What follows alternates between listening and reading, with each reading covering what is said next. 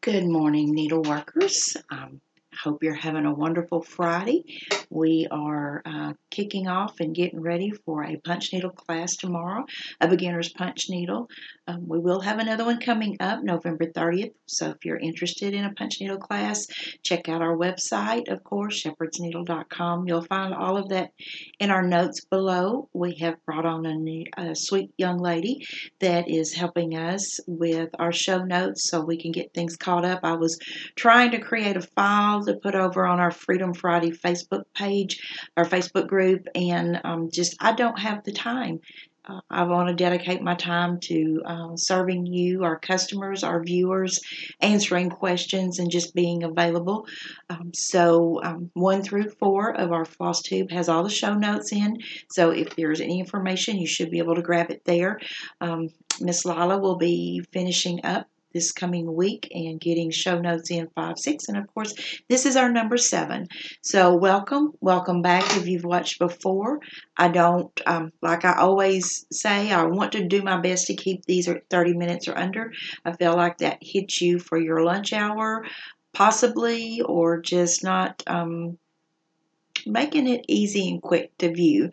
Um, I watch quite a few when I have time. And so I want to um, give everybody space and time to watch others as well as myself. So again, I'm going to just get started with, I'm going to review, actually, excuse me, I am going to start, this is really, I'm trying to devote this video, this floss tube, to stitch like stitches and finishes and punching and show you some different um, ideas. And we're going I'm going to kick off with um, I guess prim stitching is what I would call it uh, or prim punching. These two items I'm going to show you are going to really be prim pun uh, punching excuse me and how uh, I have incorporated a um, an item from Hobby Lobby and an item from uh, a flea market to do the finishing for these. I will also use things like this for cross stitch. Um, so just when you see what I'm showing you, uh, think about when you're out there looking, whether it's Hobby Lobby, Michael's, whether you're flea marketing, whether you're rummaging through grandma's things, um, you know, whatever. Be careful that because there may actually be some things in your home that you can use and not have to purchase or look for to incorporate some of your stitched or punched pieces on. So my first one I'm going to show you is um, Top Hat Sheep from Teresa Kogut. This is a punch needle piece. Um, everything that I show you we have in stock. There will be one item that we don't, and I'll tell you why when we get there. But this is Teresa's Top Hat Sheep. Okay, and I kind of, I can this I consider prim.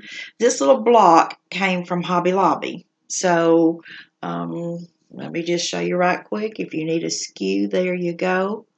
Um, but and I just attached and because it wasn't quite long enough to make it look balanced I just added some little decoration on each side just to make it look balanced um, and the next one is going to be Peace this one's called Peace Dove I do have a new computer, so I'm hoping that we get better pictures. So this is Peace Dove. And what I chose to do with Peace Dove is I did go flea marketing, antiquing, junking, and I found this great little shelf. And it was just perfect to put Peace Dove on. So there's a couple of prim finishes, and like I said, you can do cross stitch or punch needle on these type of things. Um, so next I'm going to go to a couple of things um, that the first one is going to be Happy Holidays. It's a little red truck, and I take my pieces and take them with me. Um, and so this is a little Hobby Lobby frame that's in the Christmas section. And this is what I did with the little red truck.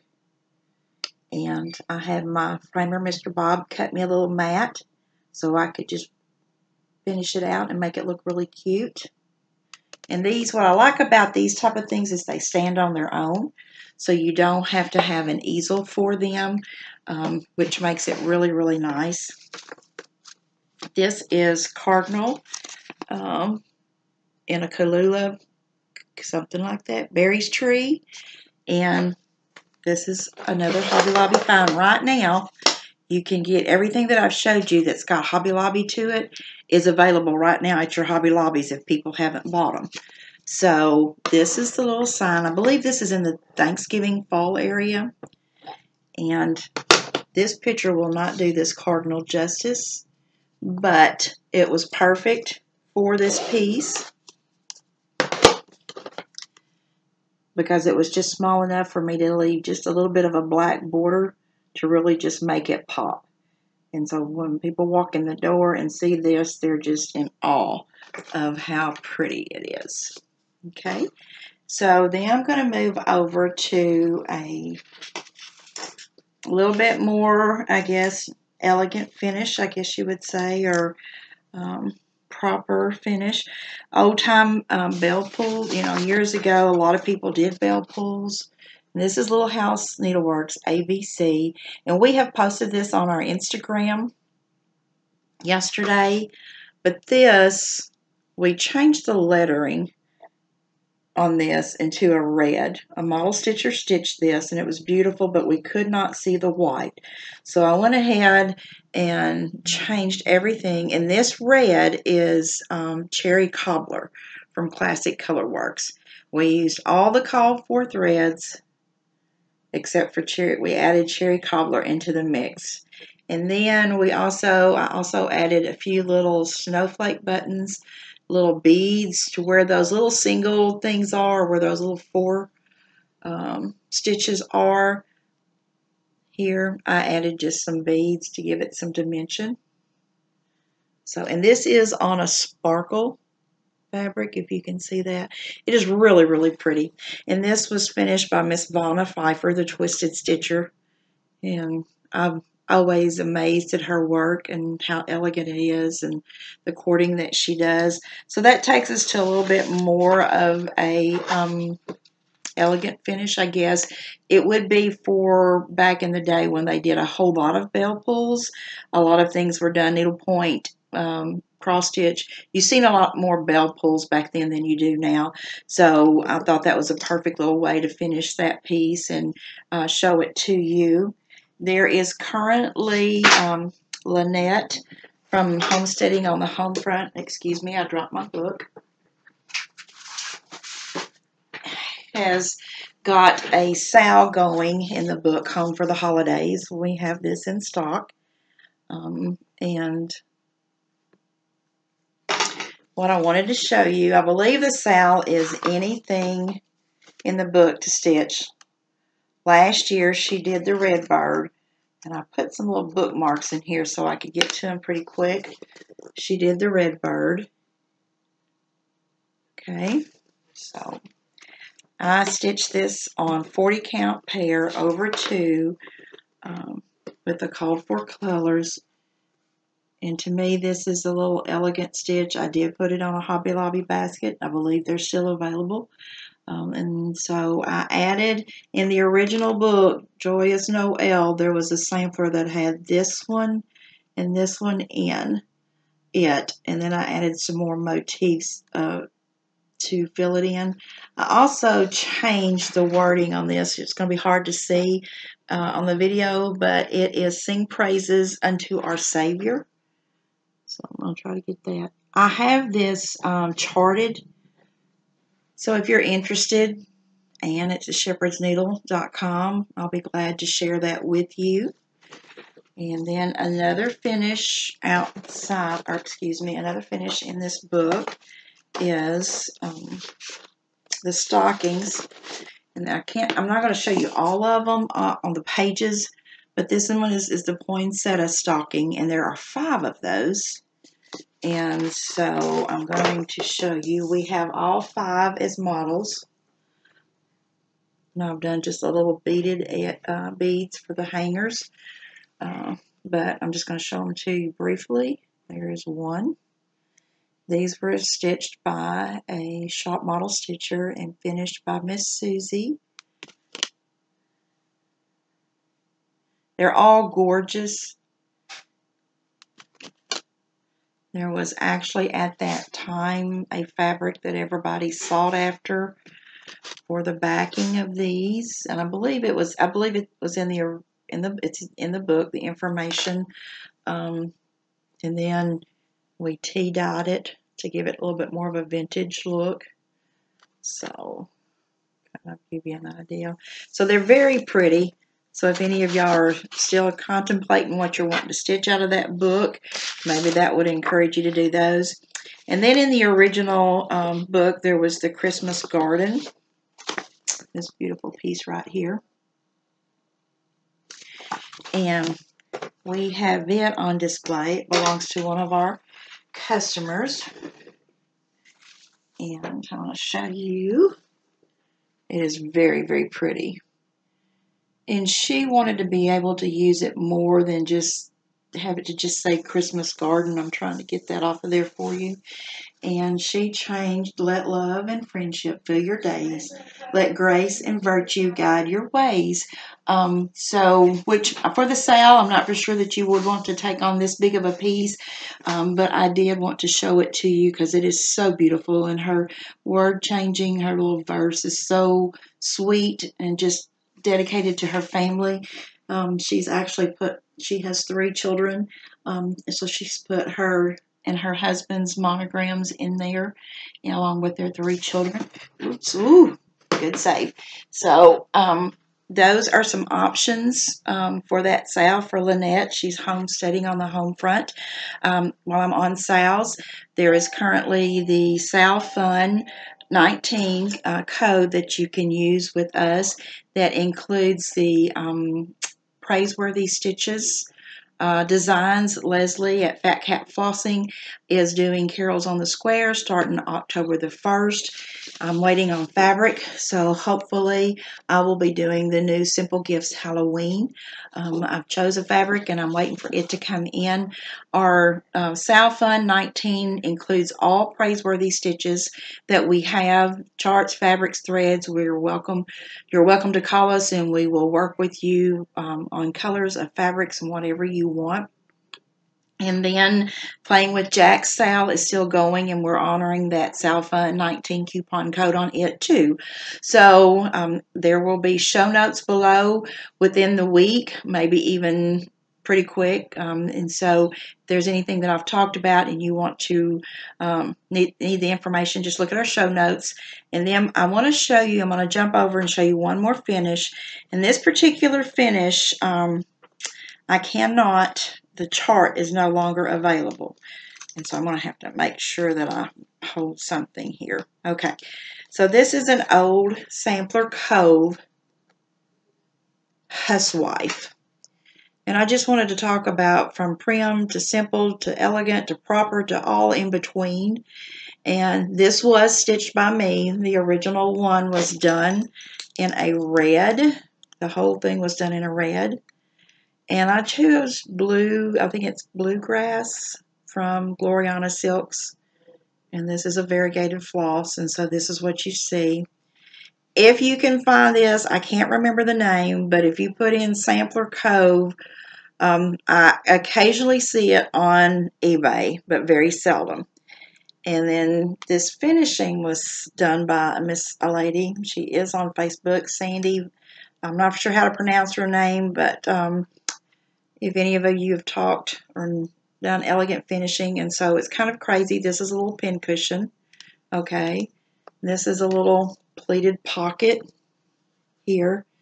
And in that little pleated pocket goes, excuse me, I've got a little thread holder, a little pair of scissors that I made a beaded bob to go with, some old vintage thread winders. And let's see and this pockets so they're they're it's pocketed to where these will fit right in here.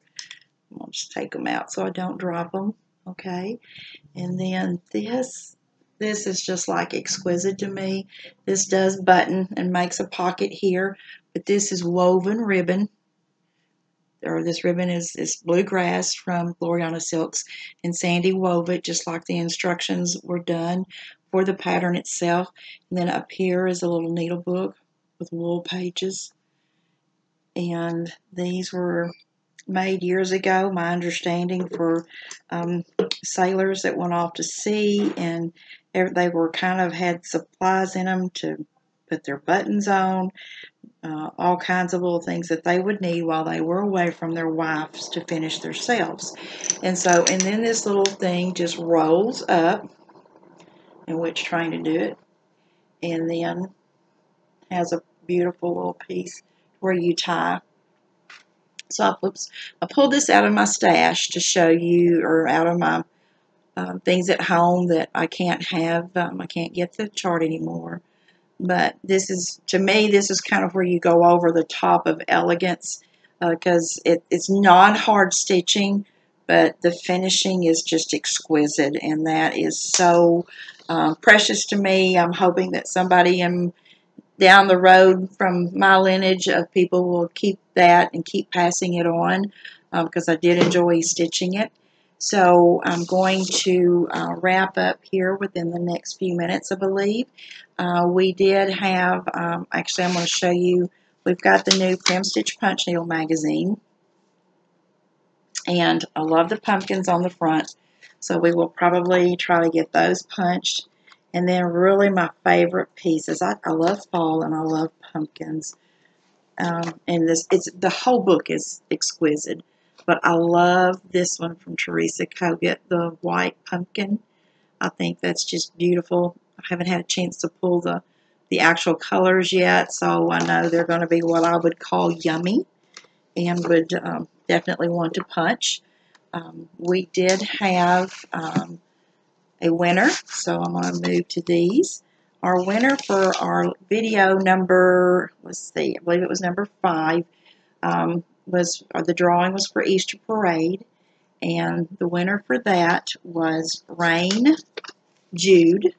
So Rain, if you will email me at Ann at shepherdsneedle.com and give me your your address and the information that we need, we'll get this off in the mail to you. And congratulations for winning. Our um, next um, drawing was for what what was your favorite holiday? That was the question that was asked in number five, I believe. We didn't have a drawing for number six, so we went back to number five, um, and that and that question was what was your favorite holiday? And and and I read everyone uh, so and I, I hope I replied to everyone. To, and I was just I really overstatic at what you guys came back with. Um, there was lots of holidays mentioned, but the top named holiday was Thanksgiving. And I don't think we could have, on the poll, I, I, believe that it should be um, a, it is for me a blessing every day to be thankful and grateful. And so, with that, I thought it was just since y'all came back with Thanksgiving being the top winner of holidays, we're going to do three giveaways this video. And so you're going to tell, or if you want to, you know, you can't, your comment is going to be, what am I thankful for? I need to know what you are thankful for. We're going to have three winners. Uh, we won't select, I mean, we'll just pick one of these and mail to you. So there's no specific one that you may get of the three that will win. And the first one is Hands on the Holidays, excuse me, Hands on Designs, sorry. Uh, give thanks. Miss Kathy's a wonderful designer. And then another Blackbird, give thanks. And then Annie Beez Folk Art. And this one is called Thankful Pumpkins, but the wording does say give thanks right there. So those three will be what we will do in the drawing. So let me know what you're thankful for. And uh, we're getting close to a closing, expos up here and I wanted to give you some information on our spring retreats of 2020. What we do for our um, retreats and our classes is that we will ask you to contact us, respond once registration is open. Please respond via email. We need to go with time dated emails to be fair to everyone. But our spring retreat dates are going to be April the 2nd through the 5th uh, for the first one and the 16th through the 19th. So these are our spring dates. We will have information on it going out. Okay, so this will post today is Friday the 20th. So when you see this, it is going to be Saturday the 21st. Our registration will open up next Saturday, the 28th. Uh, so be watching for our email tomorrow of the uh, timestamp of when registration will open. And then once it opens um, on that 28th, you will want to respond if you want a spot. We do a, um, this one, pretty much most of mine are stitch, relax, unwind, and renew. I just, we have plenty of stuff to stitch. I have plenty of stuff to stitch. Occasionally we do a little um, something to stitch if you want to. Sometimes I do and sometimes I don't. The spring retreat will not have anything. It is for you to do exactly what I'm posting about it, and that is stitch, relax, unwind, and renew. We all need to disassociate ourselves with the world at times and just close out and renew our minds and rest and refresh our bodies. And that's what I like to offer to you as the Stitcher. We have girls, um, excuse me, we have young ladies anywhere from the range of 18 all the way up into uh, probably their 80s that attend our retreats. It's a wonderful facility. Everything is in one building. Your rooms are in one building. You eat in the same building, you stitch in the same building, so you don't have to go anywhere. And I feel like that's a perfect um, offering, especially to the elderly, which includes me, because it's um, as I age, it gets a little bit difficult uh, for some obstacles, but we want to make sure that you're safe and secure. You do share a room with one person. So your room has in, you individually get to set your thermostat or your heat and cool in your room. Um, you're provided nice queen size beds with bathrooms in each one of the rooms. Um, so everybody gets a queen size bed and some privacy. We hope that you've enjoyed this video and we want to thank you for watching if this is your first time. If you're coming back, uh, pretty really thank you. If you're giving me your time, it is truly grateful and I am truly thankful to have all of you. Um, if you have any questions, look at our show notes below once they're posted. Also, um, if you need to contact me, um, Ann at shepherdsneedle.com. If you have any questions, give us a call. Everything is on our website. We do have lots of new product that comes in daily. And so if you're looking for new things, if you want to know what's new, check out our website. And we want to sign off and say thank you and have a wonderful weekend.